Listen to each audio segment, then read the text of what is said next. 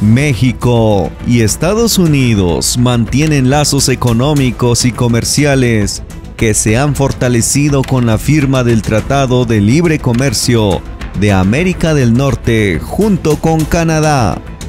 México es el tercer socio comercial de Estados Unidos y el primer destino de las exportaciones de California, Arizona y Texas y el segundo mercado para otros 20 estados.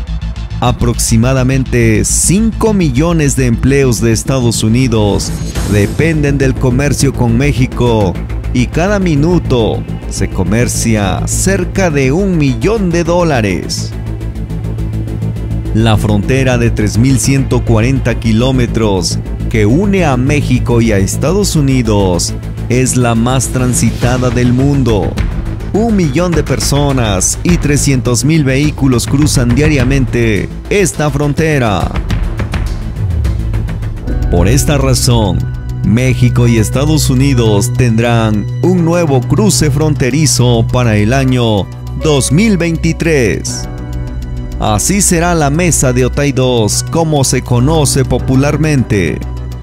El proyecto que estará a cargo de la Universidad Nacional Autónoma de México tendrá un costo de 4.300 millones de pesos y contará con 10 carriles intercambiables en función del tránsito, 5 para autos ligeros y 5 para transportes de carga, para beneficiar la región Tijuana-San Diego. La Secretaría de Relaciones Exteriores informó que a partir del año 2024 México y Estados Unidos contarán con este nuevo cruce fronterizo, conocido popularmente como la Mesa de Otay 2, que conectará la región de Tijuana en Baja California con San Diego y California, el cual contará con 10 carriles intercambiables.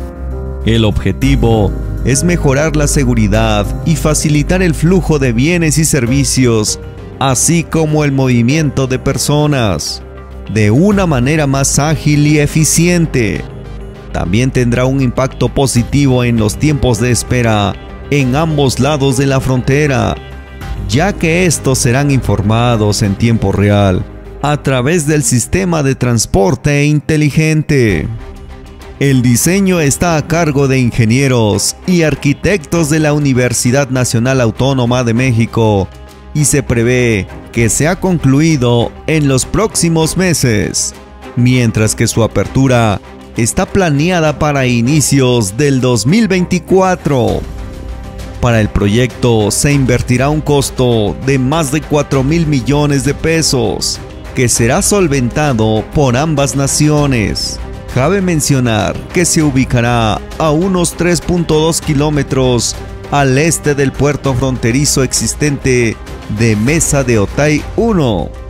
Embajador de Estados Unidos en México, Kim Salazar, y el presidente Andrés Manuel López Obrador, el titular de la Secretaría de Relaciones Exteriores, Marcelo Ebrard, indicó que el avance del proyecto ejecutivo del puerto fronterizo es del 66% y el análisis costo-beneficio del 95%. Asimismo señaló que el tráfico total de la frontera entre México y Estados Unidos en un tramo de San Diego y Tijuana es de 4.500 trailers al día. Durante su discurso, Marcelo Ebrard dijo que como México está en crecimiento, cada vez exporta más por lo que se necesita una obra que duplique este tráfico. No solo los trailers, sino también a las personas, que cruzan hasta 30.000 personas al día. Esta es la frontera entre México y Estados Unidos, es decir, Tijuana y San Diego. Aquí cruzan, aquí estamos del lado de importación, es decir, esos trailers que ven allí son los que están llegando de Estados Unidos hacia México del otro lado, ahora lo vamos a ver un momentito, está el sentido inverso lo que se exporta de México hacia Estados Unidos. El tráfico total son 4.500 trailers al día. Y la tasa de crecimiento, como México está creciendo, cada vez exporta más.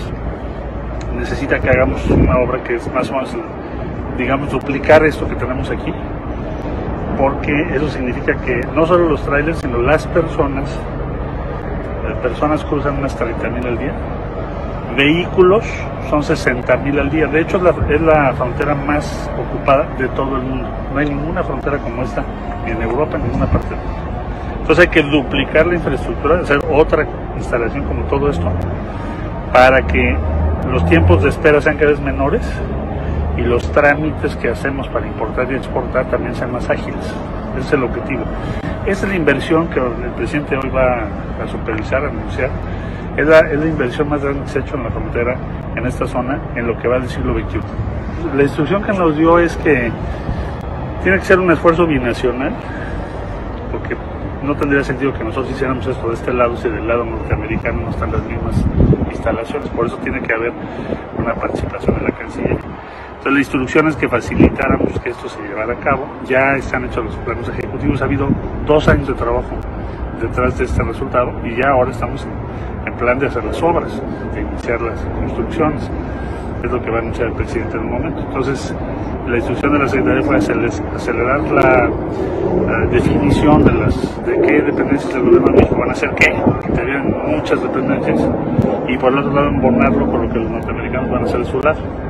Es lo que hemos estado trabajando. Contrario a otros puertos de entrada como San Isidro, esta nueva garita requerirá de un pago que será cobrado una vez que sale del punto de revisión en el lado estadounidense. Lo recaudado será dividido entre México y Estados Unidos. Con el pago de peaje se garantiza un tiempo de espera promedio de 20 minutos. Si bien aún no hay un número oficial que se ha contemplado en el peaje, pero se considera de 25 dólares para vehículos y hasta 50 dólares para camiones. El precio dependerá de la demanda. Uno de los grandes retos de esta y otras garitas será sobre si se contará con el personal necesario por parte de la Oficina de Aduanas y Protección Fronteriza para que su operación sea totalmente eficiente. Este es uno de los proyectos más importantes a lo largo de la frontera entre los dos países y el más importante para la frontera de Baja California en México. Cuando se termine, será el primer proyecto en la frontera con México que compartan vehículos de carga comercial y particulares